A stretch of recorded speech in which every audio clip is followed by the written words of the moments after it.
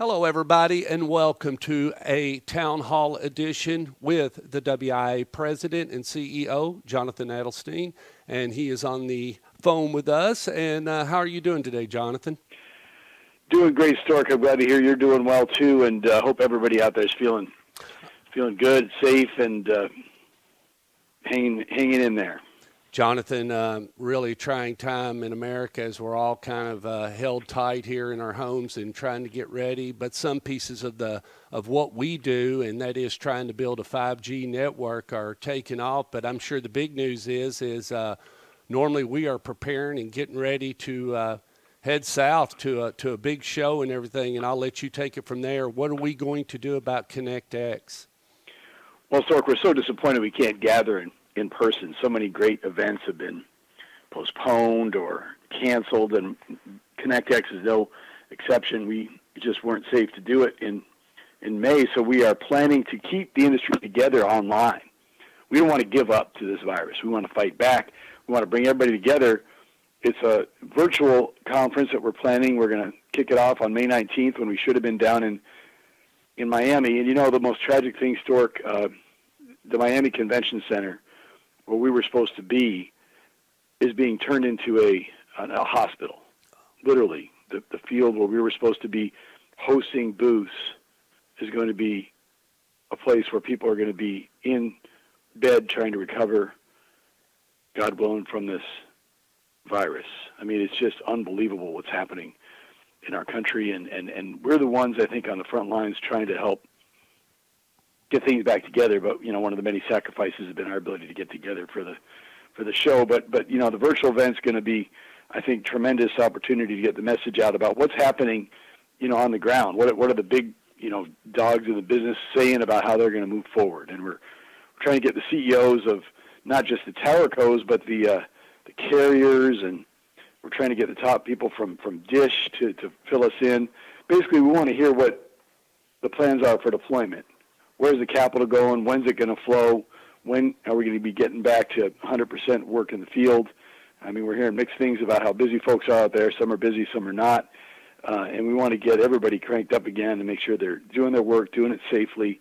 And we'll talk about how that's going to get done at this virtual ConnectX.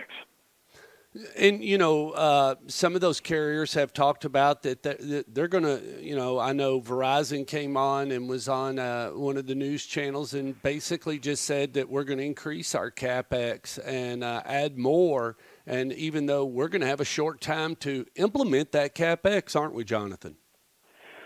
Well, that's right. I mean, they're actually cranking it up. We're seeing industries across the country dial back, and our industry is going to be really dialing up between what Verizon said about its capex. AT&T's moving forward. T-Mobile's about hopefully to turn it on here as they're they're wrapping up the the merger with the state of California. Uh, everything is coming together um, for a really dramatic, I think, summer for everybody. But right now, you know, it's it's kind of mixed bag out there. Not everybody's at full tilt yet, and um, and they're trying to work through permitting issues. We've been trying to help them with. But what we'd like to do at this um, virtual ConnectX, we're calling it ConnectX All Access, like an All Access Pass. You know me, a rock and roll guy. Uh, in this case, we're offering all access to everybody for free, free registration. We want to make sure that in this difficult time, um, when when cash is tight for some folks, we get everybody on, so we can bring everybody together, get even a bigger audience than than than ever, because you don't have to fly to Miami, but everybody can tune in. Um, a lot of people probably still stuck in their in their homes at that point, and uh, they'll be able to tune in May 19th or do it later, but to hear from from folks about what their what their capex plans are. Well, and content is king, and we need that content. We live off that content. That's how we respond to what these guys are doing. They keep their, their plans close to the vest and then uh, contact normally the vendors that they've worked with in the past, the solid connections and family that they have. What's, uh, you know, Jonathan, uh, as, as we're in this time and everything, we've got a lot of small vendors that are in this industry and everything. What are some things that we can be doing, or anything that you're hearing that you know? Uh, and I'm just let's give an example. I'm a small site act or an engineering company or environmental company, and I give help, but now I'm kind of locked up, and we know these small loans are kicking in, but. Uh, is there going to be anything we can do to, to, to, you know move these bodies into position where we can help them you know get work quickly so to speak yeah well we haven't put it out publicly but we're going to do what's called our traditional supplier diversity summit right after the event on may 19th we're going to host through wia one-on-one meetings with uh, the carriers with the, the tower cos with the procurement officers normally we do it in person down in miami right, but uh, right. we're going virtual and we'll have sort of uh, speed dating, you know, so you can get online with different companies that are putting out the biggest contracts. If you're a small business, uh, minority-owned, women-owned, veteran-owned, small, uh, a chance for the, the carriers to, I think, demonstrate their commitment to supplier diversity. And the tower towercos are all engaged as well. Uh, so we're really excited to get everybody together. At least that's the part we can play. And it's worked in the past. And we've done this for the last uh, three years, and we've heard a lot of real contracts are coming out of it. And it's tough, you know. You're right. I think that the players that in this situation that have been developed the, the closest relationships are the ones that are in the best position. It's kind of hard to develop new relationships when you're when you're basically stuck in home and you're, you're trying to get your marketing done from your from your bedroom. You know, it's not the same. So people tend to go to folks they know. Uh, here's a chance, I think, one of the rare opportunities we have to develop new relationships. So uh, be sure to stay, you know, in touch with our with our website. We'll be announcing shortly this supplier diversity summit, um, which we had planned for ConnectX on the ConnectX All Access version. Uh, 1G, 2G, 3G, 4G. They're all technologies that run, and, and now we're getting into 5G. They're all technologies, Jonathan, that run across the same frequencies we've been using forever and actually pushing out the lowest wattage power we've ever pushed out since the first phone call in 1983. And, you know, to say COVID 19 or, you know, 5G or related or the, the RF transmission. I mean, I can't imagine what 5G could do if we had that network in place, and I'll let you take it from there. Well, yeah, it's going to be more important than ever. I mean, first of all, as people are stuck at home or seeing, you know, increased demands, 5G is a lot more efficient, so it helps us meet this increased demand, which is wonderful. Uh, but it also enables all these new applications. I mean, for example, you can turn an ambulance into a, a, a 3D virtual emergency room, whereas before you had to wait to get in there. The doctor, if there's a really critical situation, can help uh, right there in, in the ambulance. I mean, the the possibilities of connected devices with people being monitored, a number of different functions. I mean, the telehealth applications alone are mind blowing, um, and and we can't get them out there fast enough. So you know, the irony is, I think you, you were mentioning some of this scare tactics. People are linking 5G to COVID-19. Not only is that complete BS and no basis and just an outright lie, but it's tragic because 5G and wireless in general right now is being used every day to save lives. I mean, wireless is being used for these calls to to 911. It's being used uh, for that FaceTime call with your doctor since you can't visit them in person to determine, hey, I'm having some issues breathing. Can I get in to see, um, should I go to the emergency room or is that actually a higher risk? Well, they're using their wireless service for that. So people's lives are being saved every day. And there are irresponsible people out there saying that, oh my gosh, 5G's behind this or 5G's causing these health issues which is completely debunked by every major health organization globally and in the United States, from the FCC to the you know to the to the FDA to the CDC. Everybody's saying this is not real. WHO, but it, what we do see is real. What we do see every day, what we see practical, tangible evidence of, is life-saving capacity. Is the public safety when a first responder goes into a building and has an opportunity through the FirstNet network to download the blueprints to the building and know where he's going in and know what the dangers are. Protecting our first responders as they're going in. I mean, so how irresponsible is it for people to be saying that this is anything but life-saving technology when the proof is there, and instead they're focusing on these false lies, some of which are coming out of Russia, consciously trying to slow us down on 5G so they can, you know, undercut our, our, our innovative economy while they just see their economy tank because they can't really produce anything of, of technological value or any innovation. So I know, let's come up with some fake rumor, use the internet to stir it up, and you know Americans will buy this crap. Well, we're not buying it. You know, we can't let that slow us down, and it's not gonna it's not gonna slow us down because everybody from Fauci to you know the the White House is ready to debunk this kind of thing and help us to move forward. We're getting a lot of support from policymakers to help make sure that 5G rolls out despite this this coronavirus crisis that we're facing. As a matter of fact, they're figuring out what they can do to double down on it. Wow, wow. You know, and and that speaks to our new player. You know, T-Mobile is in the process of uh, taking over uh, the Sprint and, and the coveted. Uh, uh, frequency that they hold and going to try to deploy it. But we got a new character that's going to play in the arena, and they've got a three prong approach that a lot of people are talking about, you know, and Charlie Ergen and Dish. And, you know, you're hearing that he's got a program where he's got to go through the 30,000 leases that he's going to be looking at, decide which ones he wants to do with that. Then he's going to be looking at T-Mobile and Sprint are double double co-located on the same tower, the same asset. One goes away. Do I want it? Do I not want it? Do we want to end services there? And then he's going to have to have a new build team, and this all requires transport and coordination. Charlie's hiring some people, isn't he, Jonathan? There is so much activity going on in the networks with the new dish build. Um, being considered and developed uh, with T-Mobile reconfiguring its network to take into account the how does it combine with Sprint and build the best of both networks to be really efficient. Uh, I mean, it's really an exciting time for for for the engineering world uh, that we represent, um, and, and for the build world that we represent at WIA. I mean, we're seeing great opportunities. I think people would like to see them come faster and sooner. You know, they want to see the spigot opened up now, but it's going to take some time and everybody's facing financial challenges, and you know we have to make sure there's a business case for all this to to justify this level of investment. But it's it's going to come. It's just a matter of when, and hopefully sooner rather than later. And we're trying to clear some of the hurdles at WIA to getting that done, at least in terms of the permitting side and the siting side. Temporarily, we've been seeing some setbacks with permitting, with understandable reasons. I mean, it's tough for localities when they're going virtual, they're going home, working from home if they don't have mechanisms in place to do online permitting or do remote inspections, it's kind of tough for them to um, get these approved. So we're working in a cooperative way with municipalities to see if there are some really best practice methods they can use to uh, to get these permits unstuck. You know, to keep them moving if they can.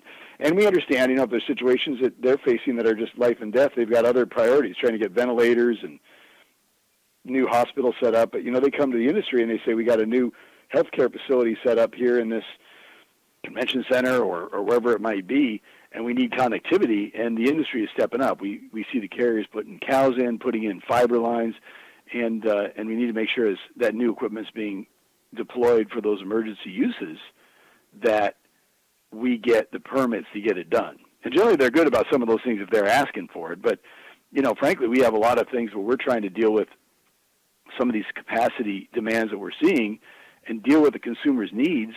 And we need to get those permits approved too. And uh, we're, I think, seeing a lot of cooperation from municipalities saying they get it. At least their national organizations get it. They're helping us work through on a case by case basis the local issues that we're seeing. So, uh, you know, it's a collaborative effort well underway here, and uh, we're really excited about uh, about trying to open up those permits where they're being held up. And, and I should say that a lot of communities are keeping it going. There's a lot of progress that they're making. Um, you know, in, in a lot of communities that already have in place mechanisms for um, for doing it electronically, those permits are moving forward. So we're trying to bring all the communities up to the same sort of high level that we're seeing in, in, in some that are let's say, you know, more automated because um, it's tough to do this if you don't have those mechanisms in place, and it's tough to create them if you don't have them already. So what we're doing is going to municipalities and saying, here's here's what's working. Um, here's some municipalities that are doing it well, and they're helping us identify the ones that are working well, and just giving those as a resource.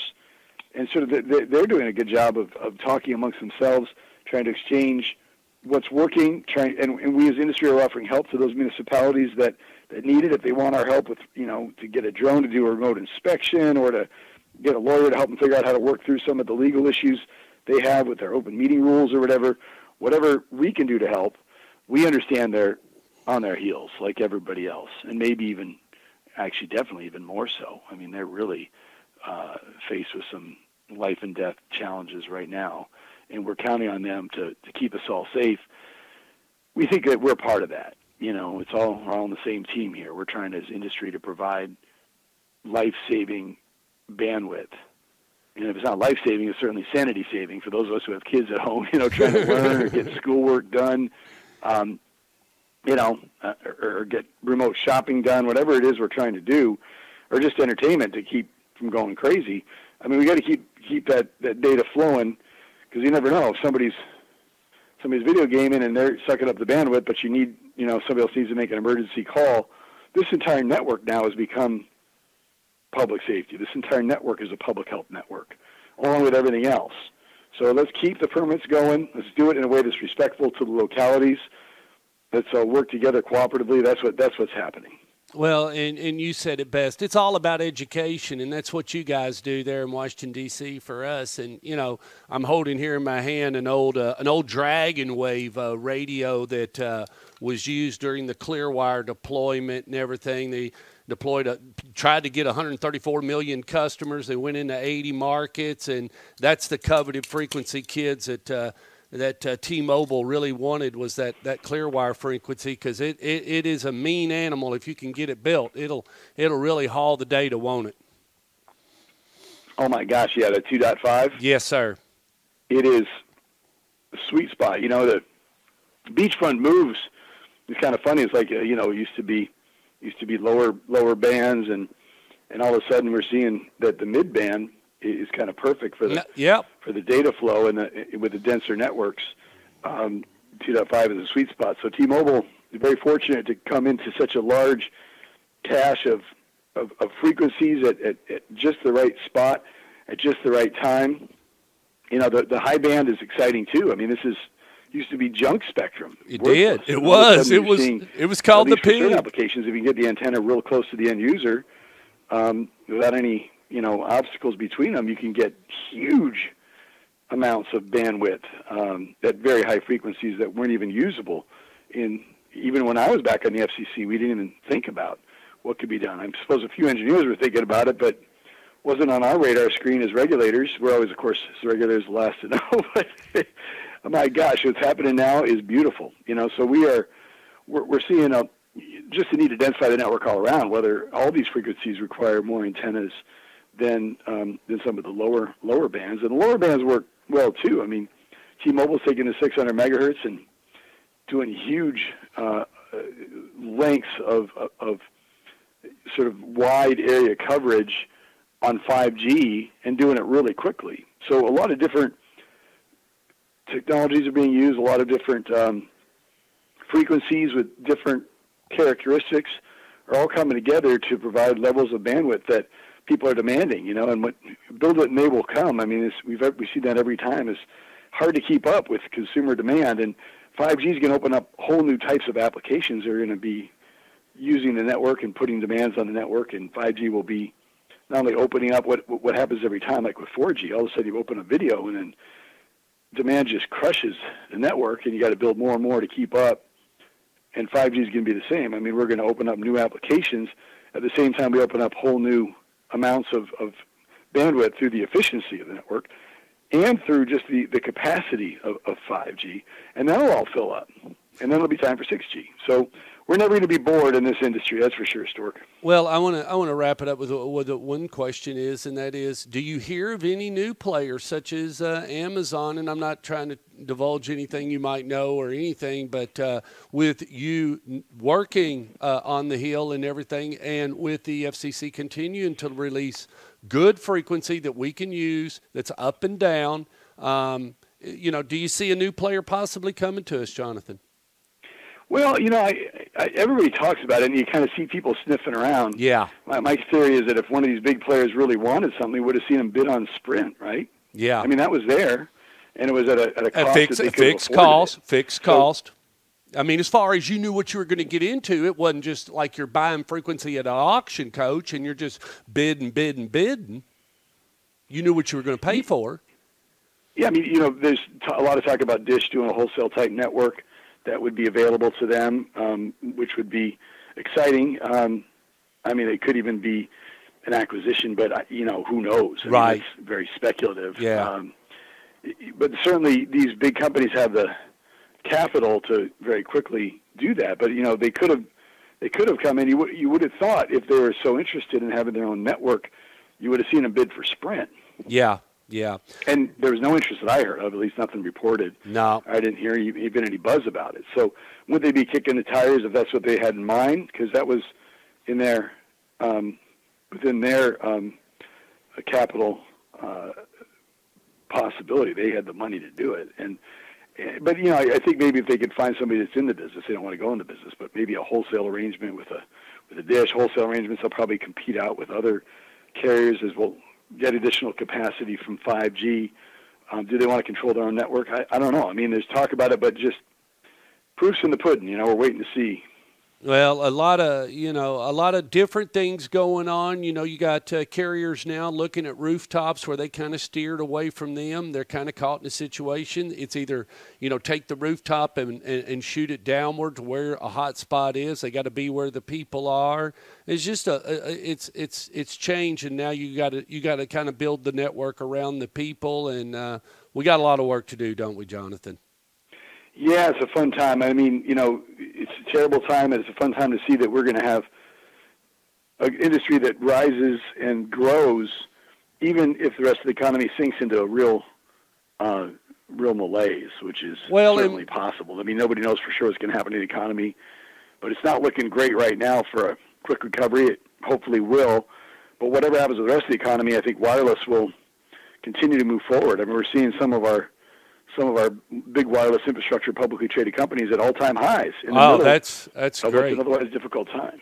Well, and you know that's just what you. Let's finish out there. You know, people. We're going to need people. So if there's a, a college student to be or somebody that wants to get into wireless, I mean, we can't talk enough about what wireless does and what 4G and the jobs it sprouted, I mean, and mutated from it, and the ripple effect of that, Jonathan, 5G is just going to be much bigger, isn't it? I think it is. And we had a real labor shortage going into this. Things were super tight. We couldn't get enough crews. We couldn't get enough people interested. And we were talking about recruiting into our industry. All of a sudden, we have, you know, another five million people today. Every day, millions more filing for uh, unemployment man every yeah. day, but I mean it's just been tragic what's been happening, and hopefully a lot of those jobs will come back, but some of them won't.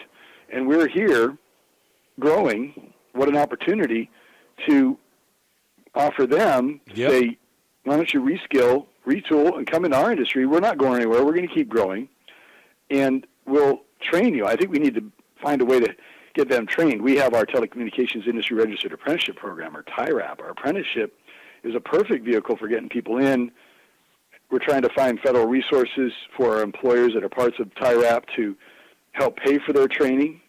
Let's hand them, you know, our employers an easy handbook as to how to get people up to speed quickly that's worked for other companies. And we have industry collaborating through TIRAP on, on what works in terms of training, mentoring, guides, um, and, and then help employers to attract these people into our industry, train them up. Again, you know, WI has created the Telecommunications Education Center as well. We're really stepping up in workforce development because we see that the most important thing we have our resource is our is our people. I mean, we have to have people that know how to do this, know how to do it well, get it done right the first time, get it done safely, uh, and because we we had sort of a, a lack of academic uh, training going on, no schools were teaching what we do. So we've partnered with places like Aiken and uh, We've got five other schools now that we're partnering with around the country, and NATE's partnering with some schools. We're working with them in in South Dakota and in uh, North Carolina. Let's let's get all these schools teaching all the different skills from tower climbing to small cell to RF 101, so that we can have people coming out of the schools and doing this, but not just kids going through school. I mean, people that are coming from other industries. This is our chance to bring in some fresh blood into our industry as we're growing and we're going to continue to grow and keep them here. You know, keep training them, give them long-term career growth opportunities. I think we have a, a great future ahead. It's going to be a rough patch right now for us and everybody else, but we're well positioned as an industry to continue to grow, and we're going to need um, I think that fresh blood to grow along with us. Jonathan, anything else you'd like to add as we wrap up? And uh, hopefully, I might get to talk to you. I'd like to see is what I'd like to do. But just by the way, personally, what have you been doing? Have you been playing the harmonica? What have you been doing with your some of your free time? Are you a binge watcher on TV, or what have you been doing? Well, it's a great question. I, you know, I, I love playing with you, and we, you helped us uh, get music together uh, at our events, and we're so disappointed the band plan can't play for everybody at uh, at our virtual show because it's just not a good platform. But I've been playing piano. I've been really trying to learn keyboard, and what I found, my teacher told me I've got a piano teacher, you know, and and I'm old here and trying to get the left left and right side of my brain working together. So um, it's tough because I, you know, it was pretty rudimentary skills, and I'm I'm getting better and better at it. Uh, but what he told me is that it's better to do three minute chunks and just practice a little bit throughout the week rather than just trying to do it all in a big hour long practice session. So, you know, right after this, I might go down there and plink away a little bit at some Neil Young songs I'm working on. Good. He taught me a few things on, and then they're getting really good. They're getting much better because I just do little bite sized chunks. You know, the piano's downstairs, don't have it in the office, but I walk by the piano. I can't resist maybe five minutes on this thing.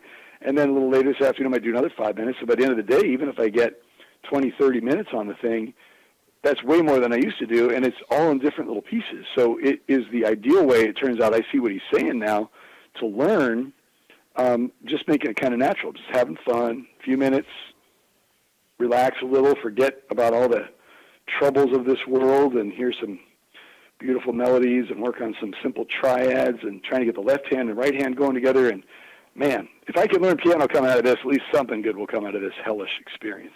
Well, uh, you know, I watched that special on Miles Davis. It was on Netflix. It just came out. And, you know, just the way he transitioned from note to note, it's just so smooth. You know, it's just not done. And that's where you want to get to. It's not only playing, but it's where you move around and nobody knows you're moving. That's, that's what the key is. Yeah, he had. I saw that too, actually, and uh, I don't want to end up like that. No, he, he, no, no. You know, patches. whoa, he uh, he poured it to his body. He didn't uh, he didn't let off the hammer any. I mean, but man, uh, after the throat operation and still to come back and uh, uh, man, he played with a lot of great people. But boy, he had an attitude too. You know, he did have attitude, but in the end, he did come back strong after a little, you know, difficult period with yep all the drugs and the surgery and uh, but boy uh, what a what a legacy of, of tastefulness you know and that's that's what I try to do on the piano just something that I like to hear you know because I'm pretty picky about my music so if I can sound good to myself that's the hard part. Um, yeah. Uh, well, sometimes I actually do. Other times I discuss myself. So the goal is to get better and I'm definitely improving way more than I was when I had to go to the office for most of the day. And then by the time I got home I didn't feel like doing much and let's wrap it now up. It just keeps me going. Uh, the show. Uh, what what what do we need to do as people a part of the Wireless Infrastructure Association? Courts could be free for everybody, which you know that's a big deal with the travel and everything. You're opening it up. It's uh, are we going to just basically register username whatever just so you get an account of all the people and and whatever you want to sign up? What, when are we going to start seeing more about this? And and the, give us the start date again, Jonathan. I want to give you a plug on that. It starts on May 19th. We'll, we'll open up registration soon. We're, we're putting together the sort of uh, panels right now, uh, putting together the keynotes and all that. So we should have more information on that shortly. It's a had to make a quick transition. I wish we could have actually announced this earlier. We kind of had the sense that there's no way we're going to be able to do the event in Miami and keep our people safe, but we had to negotiate with all our venues and get that shut down. Um, so we ended up paying hotels for all this money instead of using the money to pay for advocacy, which is you know right. every dime we get from this event that we're now losing is money that was supposed to go to our lawyers to fight for the industry and making sure we get good laws and regulations so we can deploy these networks. Um, but we still are here for the industry. We're just going to do it for free. Um, we want people to see what's going on. We want to continue to convene the industry together, and we really are asking the, the leaders of industry, those who have the fattest wallets, to come on and tell us what they're going to do with them. So everybody out there th- figuring out what they're going to do with their business has has some good um, insight and getting telegraphed of what's what's coming next and when it's coming. So that's our goal is to is to help our businesses get some visibility into the future deployment uh, plans of, of the biggest players in the industry. And we're going to bring all that together. We'll be able to make more announcements on that shortly. So thanks for giving me the chance to fill you in on that, and thanks everybody for your patience with that. Okay, uh, if we get a chance to talk again or whatever, we may come back and do a little plug or whatever. I'll give you some time to work on that. But until then, Jonathan Adelstein, folks, uh, the WIA president and CEO with his uh, State of the Union, and we'll be back soon. See you then.